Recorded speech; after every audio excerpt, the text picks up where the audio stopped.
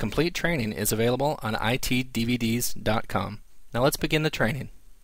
In this tutorial we're going to talk about an absolutely fantastic tool called PlateSpin PowerConvert and a lot of people probably haven't heard about it so my goal is to really get the word out on this tool and I almost hate to say it's VMware Converter on steroids because it's really much much more than that. In fact when I first heard about what it could do first of all I didn't even believe it and second of all when I found out it could actually do those things, I thought, oh, this really is a fantastic tool and more people really need to know about it. For example, it can take a physical server and convert it to another physical server.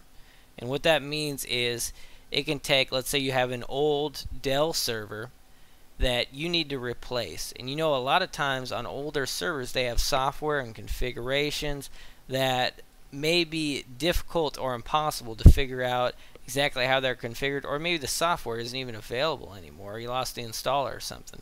So you need to get that old server onto a new piece of hardware that you bought because that old server needs to go away. It's maybe it's not under warranty anymore. There's a lot of reasons to to upgrade your hardware. So PowerConvert can take an image of that old server and behind the scenes it replaces all the drivers and everything and actually puts it on the new hardware. So it's completely different hardware and it actually works. So I've done it. it it works well.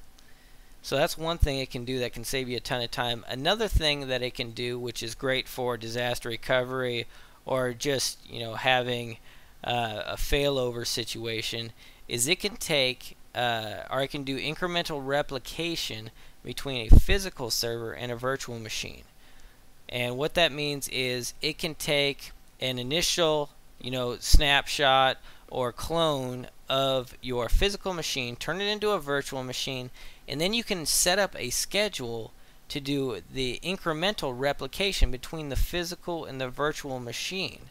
So let's say every night you want to replicate those changes from that physical to virtual machine. So you've always got kind of a, a warm standby that in case that physical dies, you can fire up that virtual machine and you're back in business. And it replicates everything. Things like, you know, uh, OS updates or registry changes, things that you can't replicate with a simple file copy. So those are two of the of the best features in my opinion. And in this tutorial, we're really just going to scratch the surface on what PlateSpin can do because I want to get the word out.